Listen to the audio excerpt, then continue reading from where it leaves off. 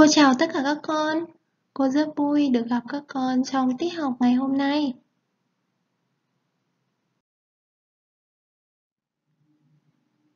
Hôm nay chúng ta cùng học môn tiếng Việt, phân môn học vần, chủ đề 2, bé và bà.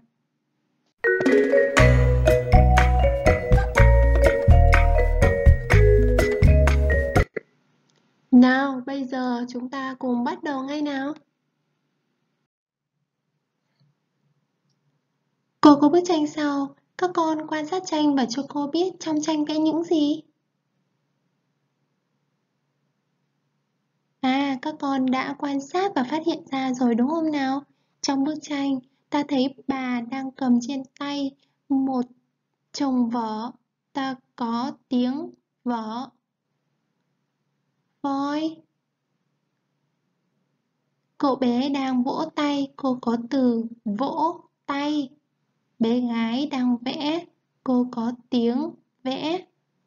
Vậy, qua bức tranh chúng ta có các tiếng vở, vẽ, vỗ, tay, voi. Các con quan sát các tiếng này có điểm gì giống nhau?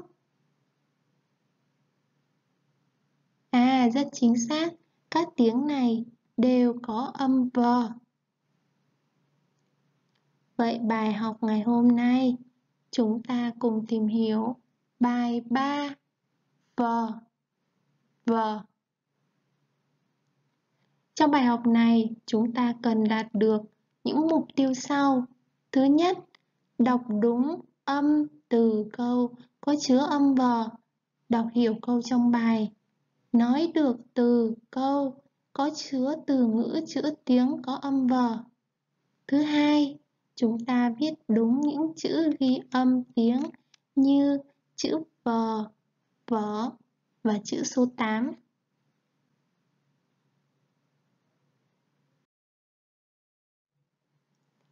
Cô giới thiệu với các con, chữ đầu tiên là chữ v in thường, chữ thứ hai là chữ v in hoa.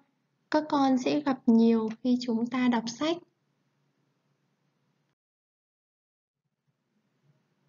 Chúng ta cùng thử tài xem bạn nào tinh mắt hơn nhé. Các con quan sát và cho cô biết trên màn hình của cô có mấy chữ V.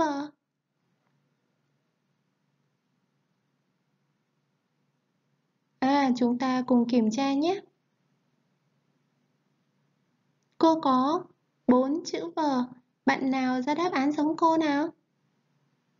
Cô khen những bạn ra kết quả giống như cô nhé. Cô giới thiệu với các con, đây là chữ V, viết thường. Đây là chữ V, viết hoa đó các con.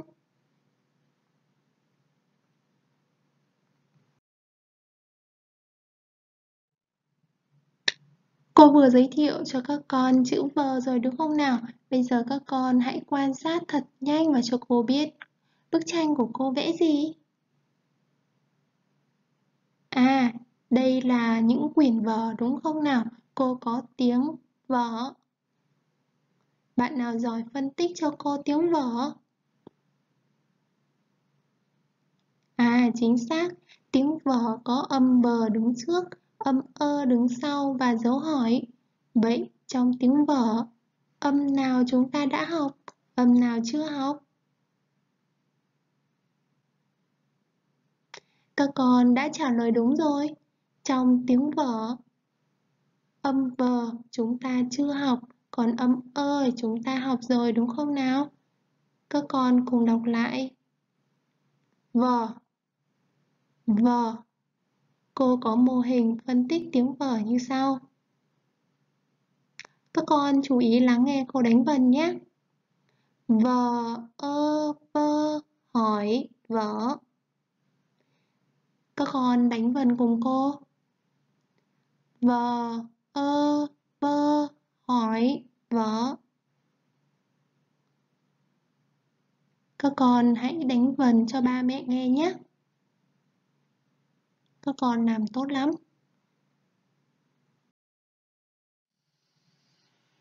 Chúng ta đã luyện đọc rồi. Bây giờ chúng mình cùng chuyển sang phần tập viết nhé. Trước khi vào viết thì các con hãy ngồi ở nơi có đầy đủ ánh sáng. Chuẩn bị bảng con, phấn. Nếu bạn nào không có, các con có thể chuẩn bị một quyển tập Only và cây viết chì nhé.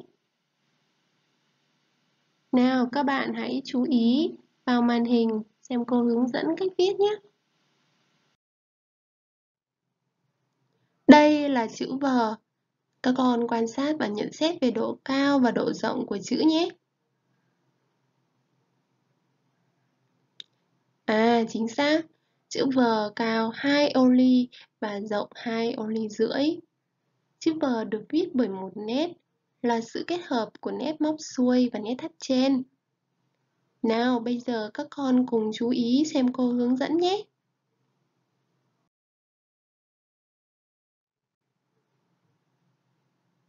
Để viết được chữ V, các con đặt bút giữa dòng ly 2, viết nét móc xuôi.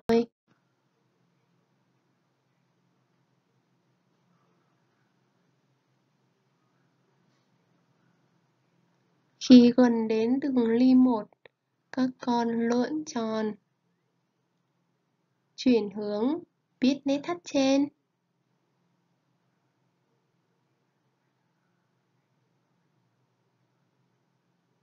Điểm dừng bút là ở dưới đường ly ba một chút. Vậy là cô vừa hướng dẫn các con cách viết chữ V rồi. Các con sẽ cùng thực hành vào bảng con nhé.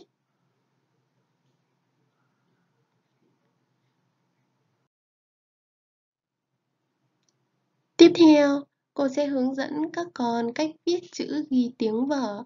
Các con cùng quan sát để viết đúng nhé. Chúng ta đặt bút giữa dòng ly 2, viết chữ vở.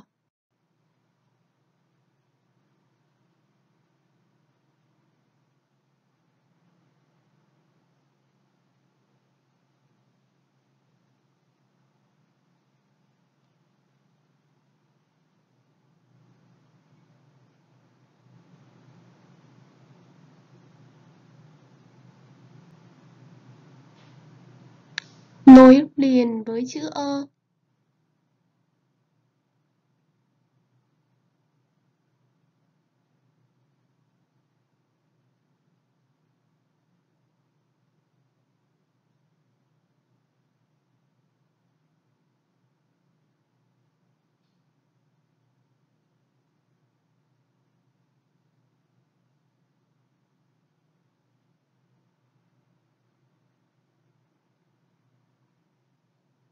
viết dấu hỏi trên đầu con chữ ơ. Ta được chữ ghi tiếng vỏ. Vậy là cô đã hướng dẫn xong các con cách viết chữ ghi tiếng vở rồi. Các con sẽ viết một lần vào bảng con. Bạn nào không có, chúng ta sẽ viết ra vở ly nhé.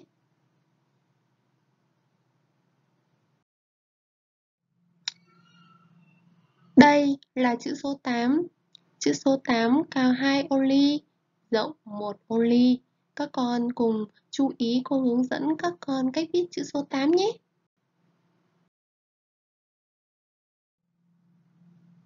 Chúng ta đặt bút trên đường 3, viết nét cong hợp phải. Kết hợp với nét cong hở trái. Khi đến đường ly 1, các con uốn cong đưa nét bút lên trên, kết thúc tại điểm bắt đầu. Lưu ý khi viết chữ số 8 là các con lượn làm sao tạo thành hai vòng tròn khép kín với nhau. Vậy là cô vừa hướng dẫn các con cách viết chữ số 8. Các con sẽ viết ra bảng con hoặc vỏ ly nhé.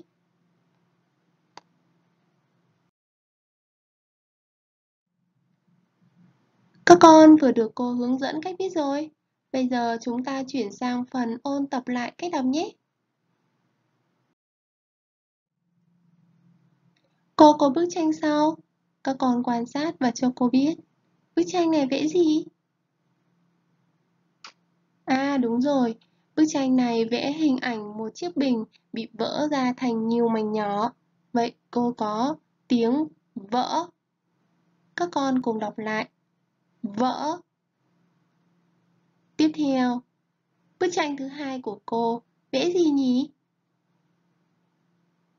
À, chính xác. Bức tranh số 2 vẽ hai bàn tay đang vỗ với nhau. Vậy cô có tiếng vỗ. Vỗ tay đó các con. Các con cùng đọc lại. Vỗ. Các con cùng quan sát bức tranh số 3 nhé. Bức tranh số 3 vẽ gì đây? À, bức tranh số 3 vẽ hai thầy trò đang tập võ. Cô có tiếng võ. Các con đọc với cô nào. Võ. Tiếp theo, bức tranh số 4. Vẽ gì nhỉ? À, đúng rồi đó. Đây là vỏ cam. Cô có tiếng vỏ. Chúng ta cùng đọc lại bốn tiếng nhé. Vỡ, vỗ, võ, vỏ. Các con quan sát thật nhanh và cho cô biết bốn tiếng này có điểm gì giống nhau.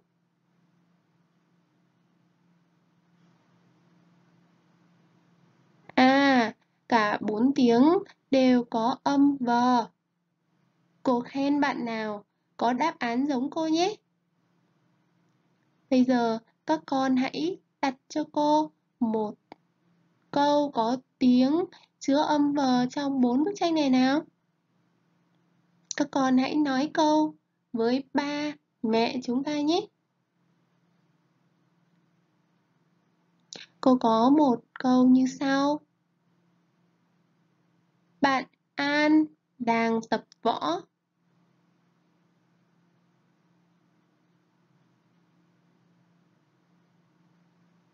Các con sẽ cùng thực hành phần này thật nhiều lần để chúng ta nói được câu với nhau.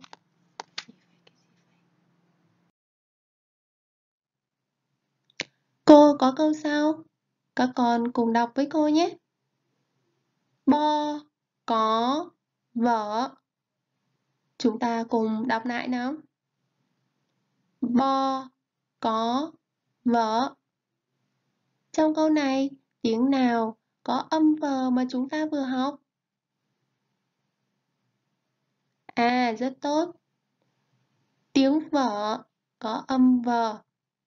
Các con cùng đọc lại. Bo, có, vở.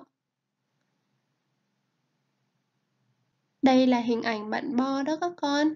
Bạn Bo đang rất vui mừng vì có rất nhiều những cuốn vở để chuẩn bị cho năm học mới.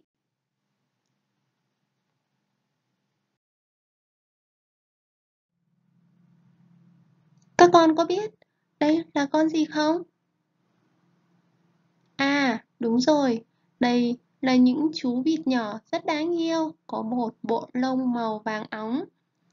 Cô có tiếng vịt, các con cùng đọc. Vịt. Trong tiếng vịt có âm v. Hôm nay chúng ta học đó các con. Bây giờ cô sẽ mời các con cùng xem một clip nhạc.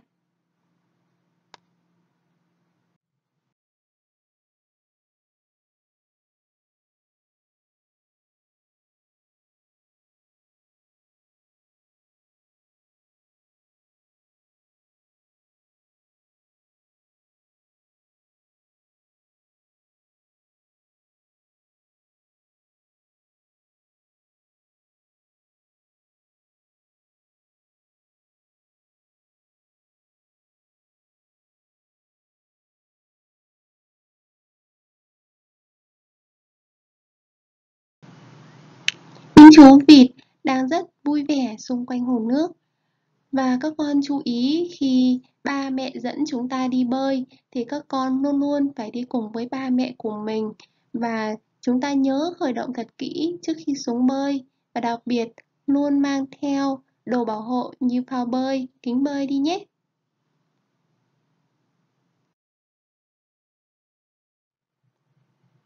Khi học xong bài học ngày hôm nay, các con có thể lấy ra vở tập viết 1, tập 1 và mở trang số 9 và 10 để viết bài. Còn bạn nào chưa có thì các con có thể viết ra vở only nhé.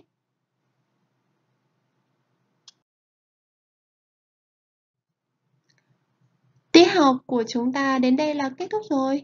Cô chúc các con chăm ngoan, học giỏi và hẹn gặp lại các con trong các tiết học sau.